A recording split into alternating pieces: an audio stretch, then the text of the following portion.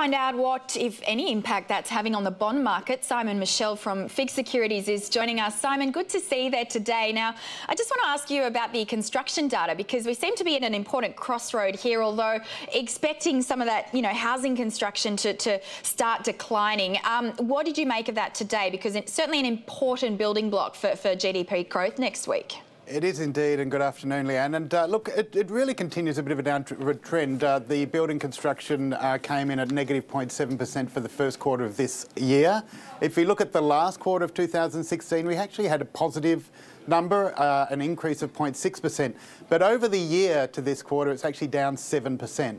So it really continues that negative trend we've seen really in uh, private residential dwelling construction uh, over the last 12 months. If you actually go back to um, Third quarter 2015 was about 52 billion. We're now down to about 46 billion a quarter. So quite a significant downward trend. Mm -hmm.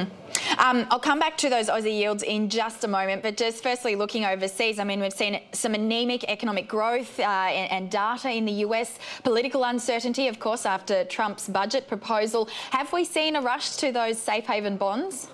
Look, I think people are just sitting on the sidelines at the moment. We also have later this week coming out, Leanne, the uh, Fed uh, minutes of their May meeting. Mm. Now, since we've uh, had um, the Fed come out and have that FOMC meeting, we've had a bit of conflicting messaging. We've certainly had uh, some um, uh, deputy governors pointing out that uh, low, uh, weak growth, that weak inflation. Um, others sort of saying, look, we've got to look through this, look through uncertainty, and you know, really setting up for June tightening. So it'll be really interesting whether they stick to that message and whether the market that is largely buying into a June tightening uh, continues that thought.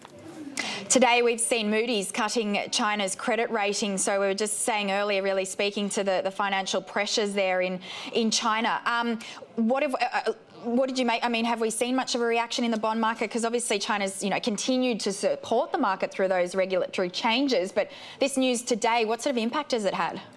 Yeah, look, not as much as you might think, Leanne, and that's largely because uh, Moody's already had them on a, a negative outlook. So, um, you know, it, it's really about the rating agencies. Look, they were on a double A3 rating. Uh, there was a view that there would be uh, possibly some downward movement on that credit rating. They've taken that move down to A1. Um, you know, I think if anyone was surprised by that, they haven't really been sort of keeping a close watch on China.